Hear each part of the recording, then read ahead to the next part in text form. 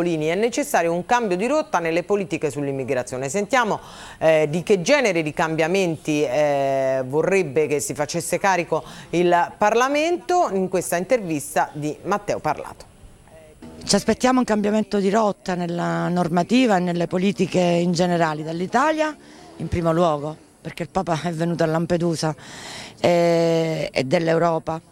Poi e, ehm, in Italia va subito cambiato il sistema di accoglienza, non più basato sui megacentri che o si chiamino CI o si chiamino Cara, sono delle cose insostenibili per chi ci mettiamo dentro e per le città dove li collochiamo.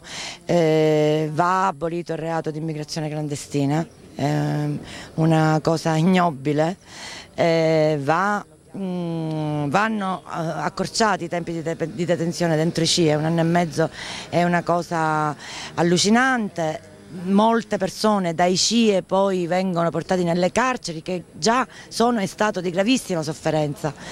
Eh, insomma... Allora, in questo momento si è riaperto il flusso con il buon tempo da, dall'Africa verso, verso qui, verso Lampedusa, anche verso la Sicilia. Che tempi volete per queste risposte?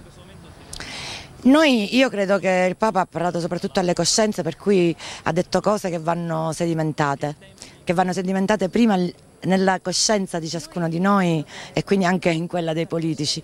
Però penso che questo sia un tema che deve stare all'inizio dell'agenda politica perché poi ha molto a che fare anche con la crisi economica nostra.